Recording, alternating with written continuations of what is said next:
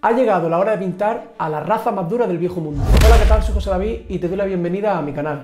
En este vídeo voy a pintar la piel de un enano utilizando solo pincel. Espero que te sea de gran ayuda y dentro vídeo. Con este color aplico la capa base. He elegido este color como base porque para la piel del enano busco un color dorado pero relativamente oscuro. Este tono rojizo nos ayudará a que la piel se vea saturada. Hay que buscar que la capa base sea lo más homogénea posible.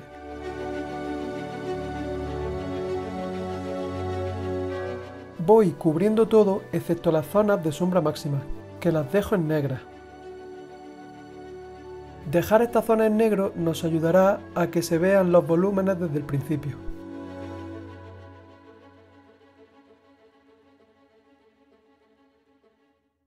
Así se ve tras aplicar la capa base.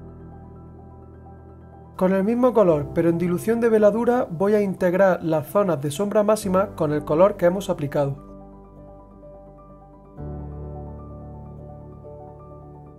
Añado marrón naranja al color del paso anterior para comenzar a dar la primera luz. He añadido este color anaranjado para continuar con la saturación de la piel. Si añado un color con mucho blanco en estos primeros pasos, perdería mucha saturación y no es lo que busco. Vuelvo a cubrirlo todo de manera homogénea pero dejando parte del paso anterior para así ir creando los volúmenes. La parte que dejo del paso anterior es la que pega más a la zona de sombra. De esta forma voy reduciendo cada vez más el área de luz.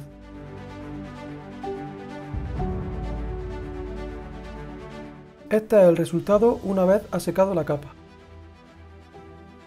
Añado piel de enano al marrón naranja para continuar iluminando. Como podéis ver voy eligiendo todo el rato tonos anaranjados. Hago lo mismo que en el paso anterior pero reduciendo cada vez más la zona de luz.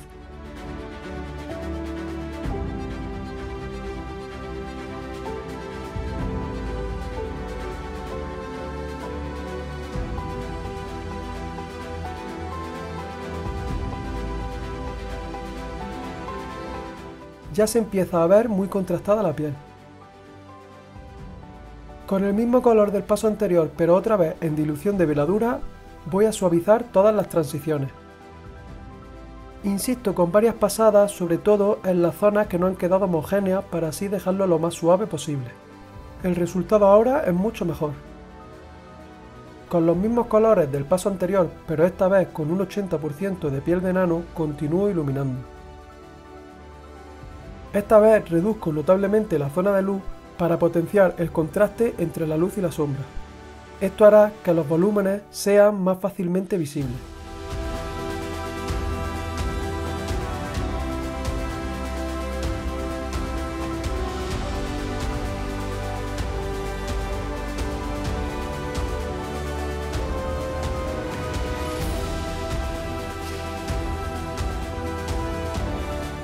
La iluminación está casi lista.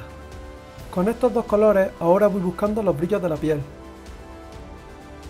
Recordad intentar cubrir poco de los pasos anteriores. Si cubrís demasiado, perderemos los tonos medios y por tanto perderemos saturación. En este paso los planos de luz que hago son muy pequeñitos.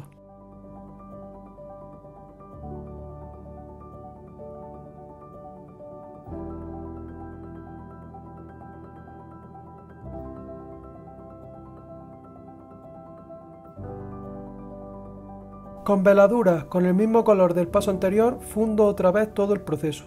De esta forma aporto luminosidad y suavidad a la piel.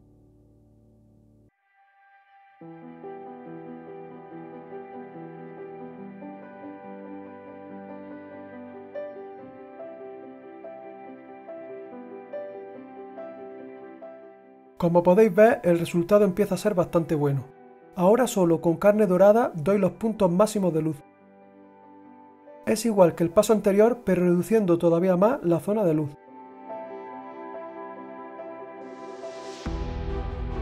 Elijo tan solo algunas zonas para dar esos brillos máximos en la piel.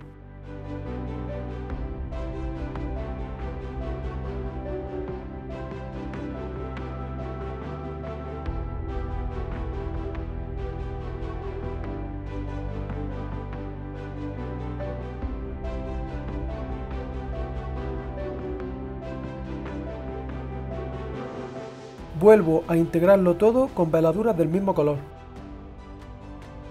Esta vez solo me centro en el corte entre capas para fundir las transiciones.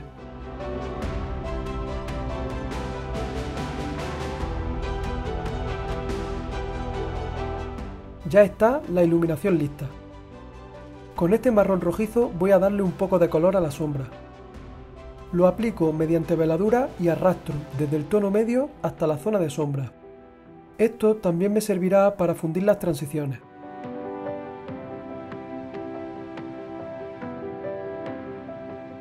Ahora con este naranja voy a hacer lo mismo pero en los tonos medios. Lo hago aparte de para fundir transiciones, para potenciar la saturación de la piel. Este tono dará mayor viveza al trabajo realizado.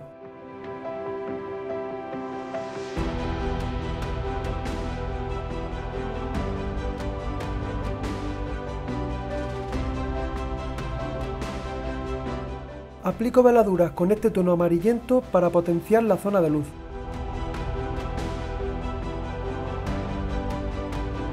Por último, recupero los brillos máximos de la piel con amarillo hielo.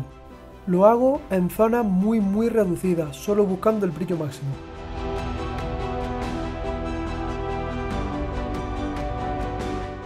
Este es el resultado final. Si os ha gustado, podéis decírmelo en la cajita de comentarios. No me enrollo más y hasta la próxima.